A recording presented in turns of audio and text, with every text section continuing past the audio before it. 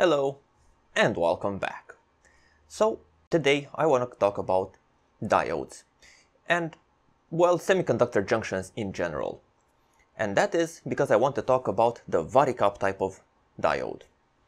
Now normally if you have an LC circuit, so in an oscillator or a receiver or something, and you want to vary the resonance frequency, you can either change the capacity of the capacitor using something like a variable capacitor or you can try to change the inductance of the inductor using something like a variometer or some other form of variable inductor.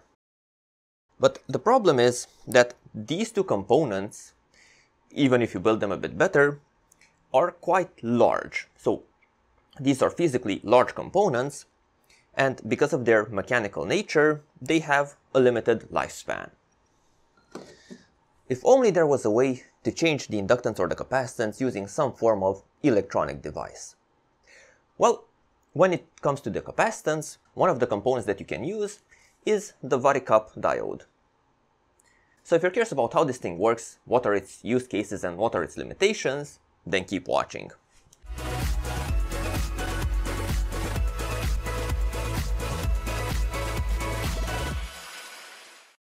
So let's start off by remembering how a capacitor is built. Now, in its most basic form, a capacitor is built from two conductive plates that have a certain surface area and which are separated by a certain distance. And then in between the plates, you need an electrical isolator called a dielectric.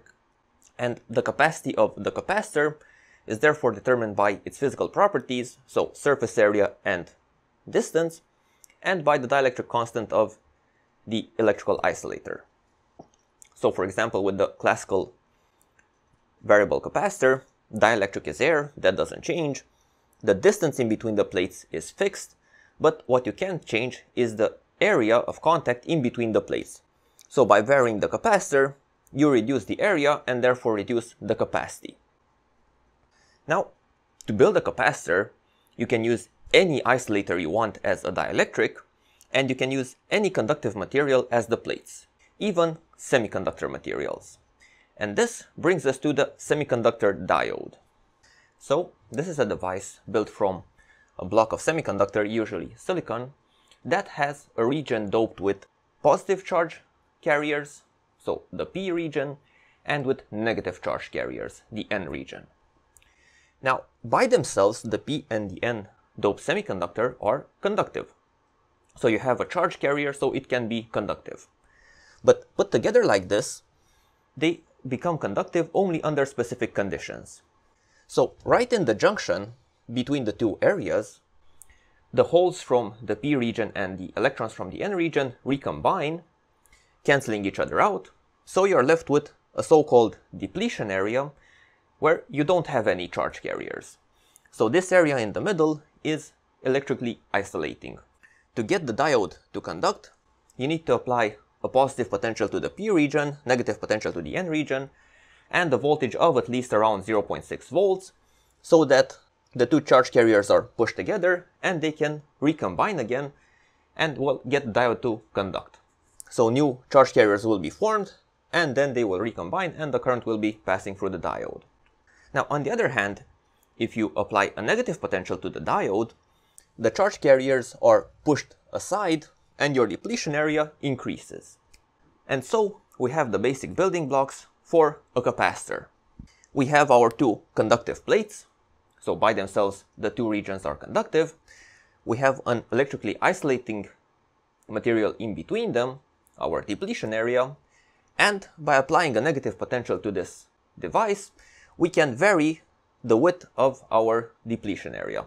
So we can make our capacitor variable by applying a negative potential to it. And this is basically how the Varicap diode works.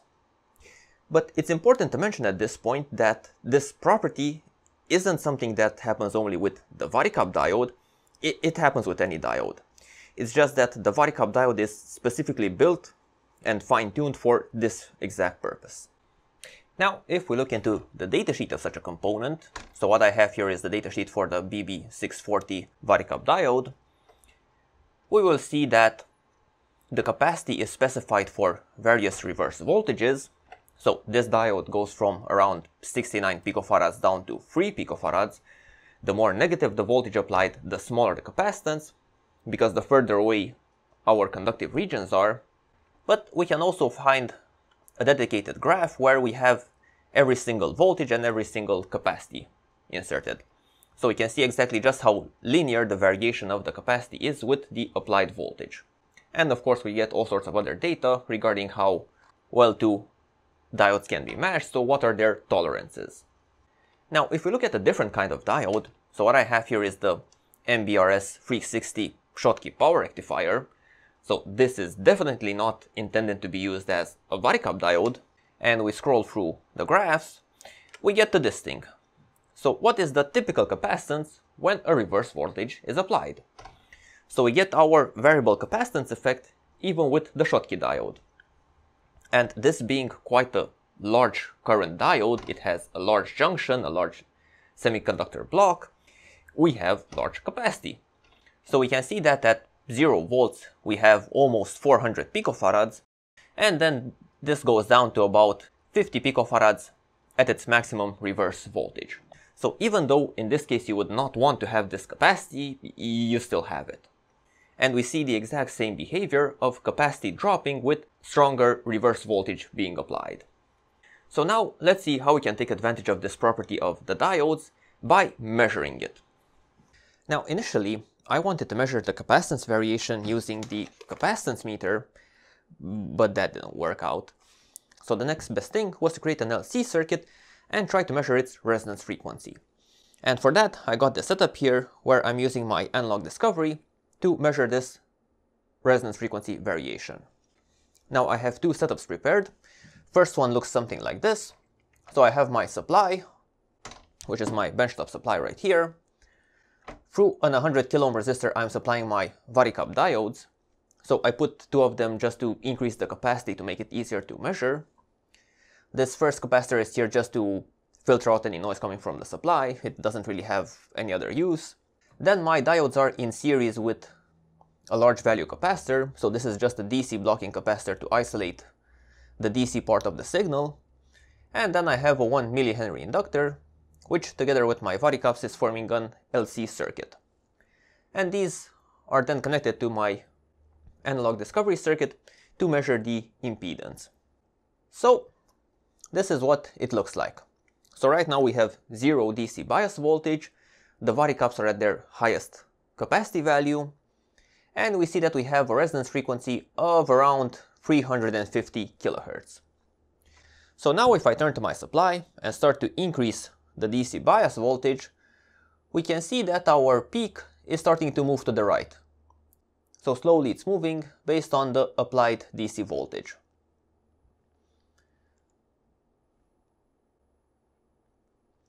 So at the maximum voltage that my supply can supply, 26 volts, we went from the initial 350 kilohertz up to around 735 kilohertz.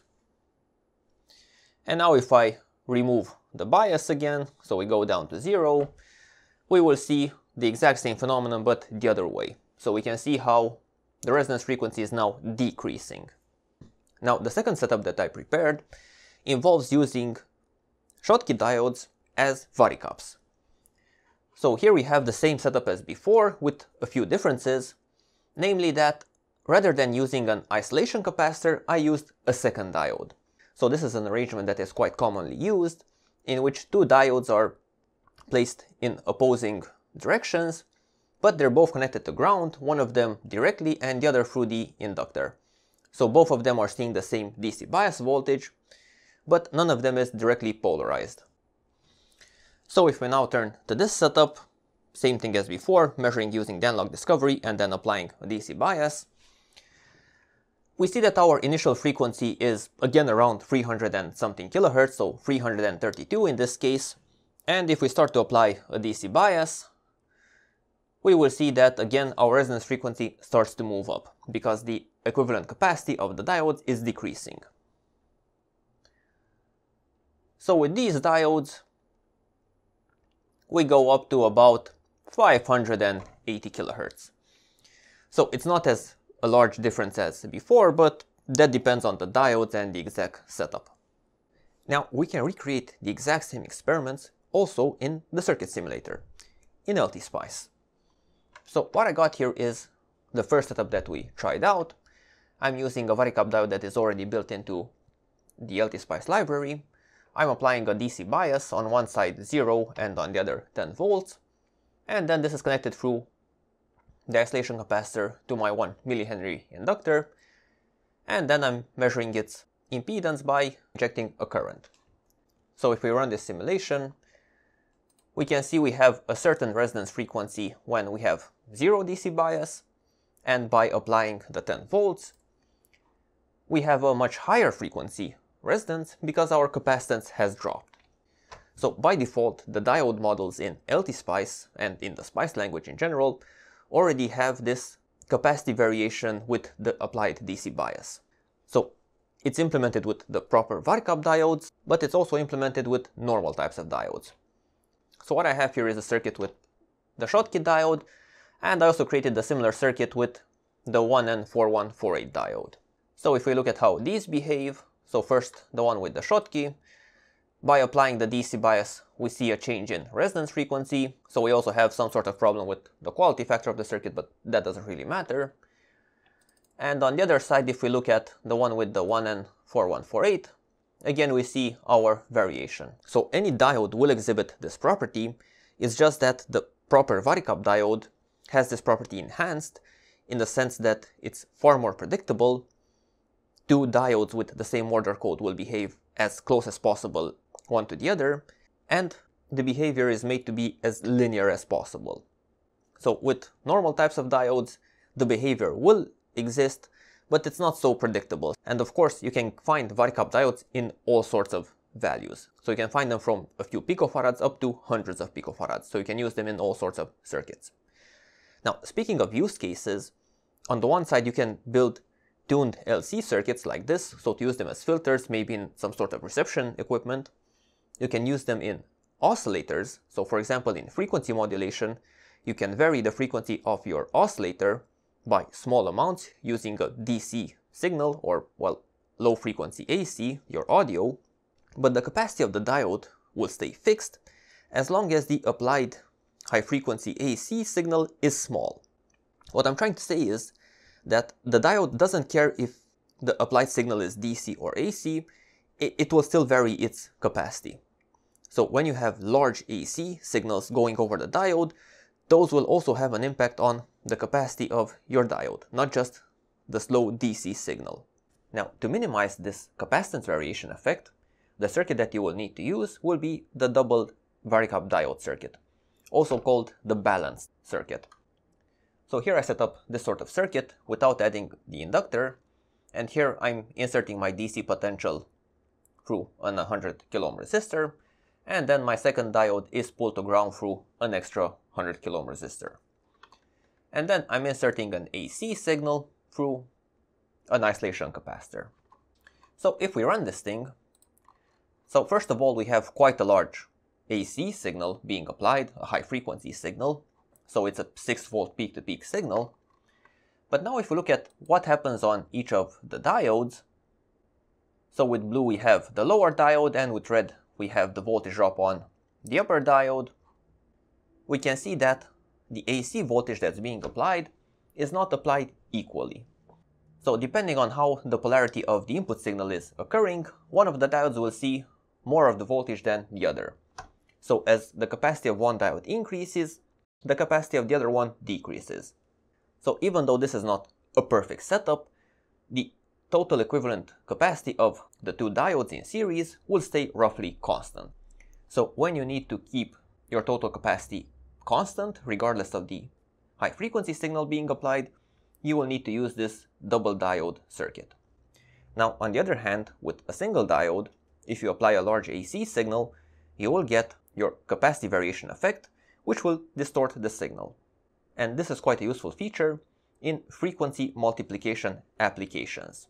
So just to highlight the effect, what I have here is a sine wave that has quite a large amplitude, so 30 volts peak to peak, and then through a 3 picofarad capacitor, I'm connecting this to a Varicap diode, so a single Varicap in this case.